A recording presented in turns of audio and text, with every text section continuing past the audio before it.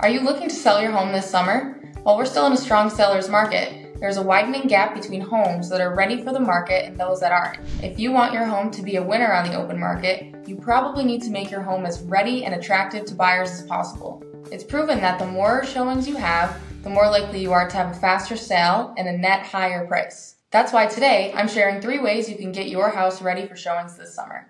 Point number one is take care of minor repairs up front.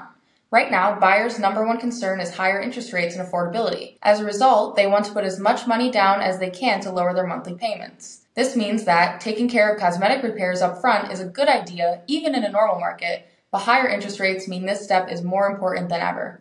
Number two, do some staging. Think about an ideal model home. It's clean, standardized, and impersonal. Your goal should be to get as close to that image as possible. Your home likely has a lot of personalized touches like odd furniture, family photos, or maybe even an off colored wall. I recommend trying to depersonalize your home as much as possible so prospective buyers can picture themselves living in your property.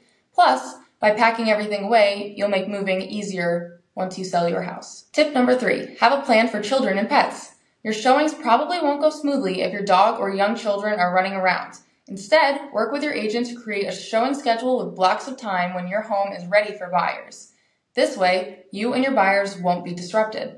I recommend putting dogs in kennels just for the short time when you'll be having showings. While moving your pets around might be a little work, it's worth it to keep your house in pristine condition when buyers are viewing it.